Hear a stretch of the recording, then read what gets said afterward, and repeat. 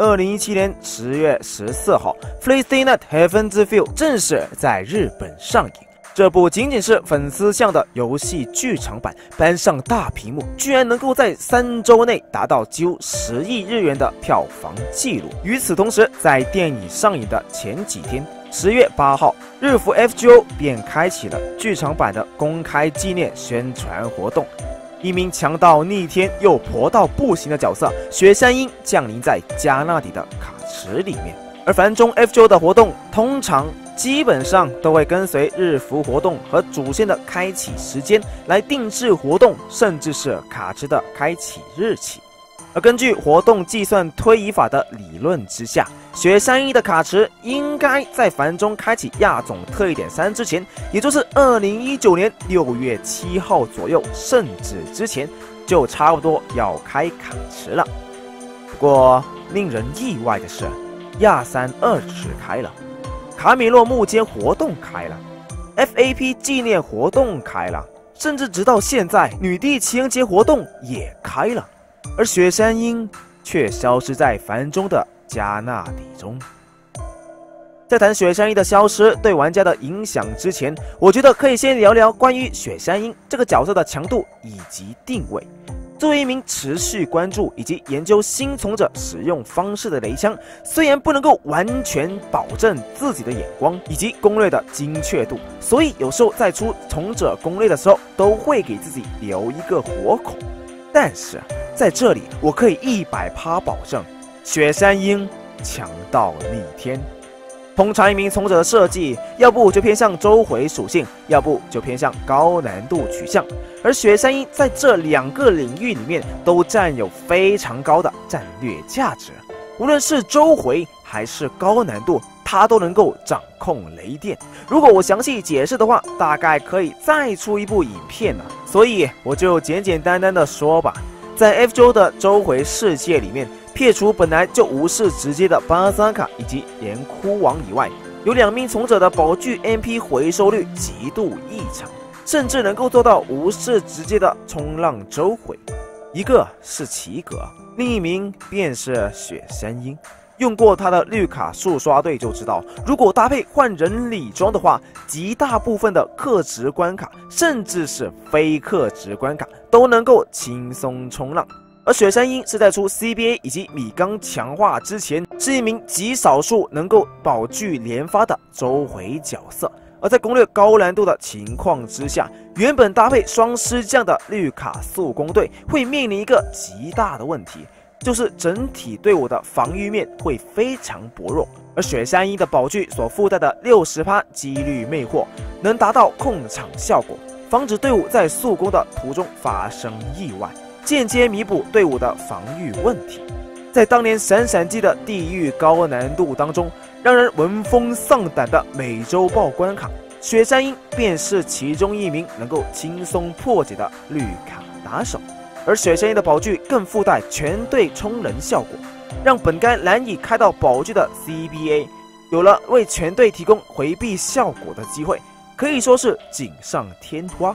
作为一名高难度的绿卡速攻队队员，却能够解决一些绿卡速攻队的核心问题。在讨论他其他技能方面的优势之前，单单这一点就已经让他有着无比高的培养价值了。那么，如此逆天的从者，为什么会在繁中版里？消失了呢？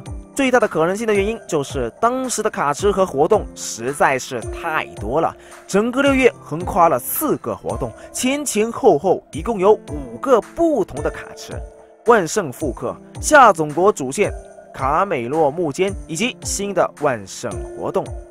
我的妈耶！有活动固然是好事，至少比长草来的好。不过一下子来这么多卡池，还真的让人有点吃不消啊。然而当时日服的雪山鹰卡池又刚好在这附近降临，或许是官方为了避免活动显得更加拥挤，才会暂时把雪山鹰搁置吧。然而在这个原因的前提之下，繁重的领域有可能已经跟日方谈好了解决方案，例如七夕节的雪山鹰。不要瞎掰好吗？或者是中元节的雪山鹰，又又或者是繁中情人节特别企划。应该还是有其他方案的。虽然尹玉方也没有非常正面的回应这个问题，导致有一大堆繁中的狱主非常不满，跑去寄信或者直问官方的脸书客服。因为雪山鹰的消失，不但让玩家无法把它抱回家养以外，连带一个非常好用的周回玉主礼装二零零四的断片也一同消失。说实话，这个礼装还真的非常好用，往后一堆绿卡冲了队都能用得着。所以基本上现在就要慢慢的把它练上去了。而最近也开了女帝的情人节活动，但由于玩家们没有办法抽到雪山鹰，所以来自鹰的情人节巧克力也没有办法拿到就是了。更甚的是，雪山鹰虽然配 up 的卡池和时间不多，但其实它会在第一次的 pick up 后便能够从其他卡池里面挖到就是了。不过几率嘛，日服的我在那卡池之后也至少抽了八十单左右。也只试过歪到过一只，真的就只有那么一点点难抽就是了。不过说到最后，作为玩家的我们，不是也只能等了吗？说到底，这并不是一部工商影片，也没有要帮官方说些什么，而是作为一名普通的 master，用平常心去看待这件事。就算再怎么去克索，再怎么去跟官方反映，有时候做决定的。其实并不完全是繁中官方能够做到的，而我们玩家能够做到的，就是享受当前活动能够带给我们的资源和乐趣了吧。而从另一个方面来想，这次风波又能够为繁中 F 九带来话题性的效果。一款游戏除了怕没收入以外，最怕的就是没有话题性。而雪山鹰消失事件正能够提供所有玩家一个独特的梗，就跟当年的起灰石一样。最终会成为我们的共同回忆，更何况我影片都出了，棋也立了。正常来说，官方很快就会推出雪山鹰卡池来打我的脸。啊，明天我会有影片呐，明天对啊，就稍微讨论一下这个事情了。对，因为啊，因为这这个东西的确的确在繁中弄了蛮大个风波的。OK，感谢雷枪利奇，求打脸。其实观众，你是不是有官方的卧底？是不是？我说什么你都知道，可恶！求你让我活一天，影片至少 OK。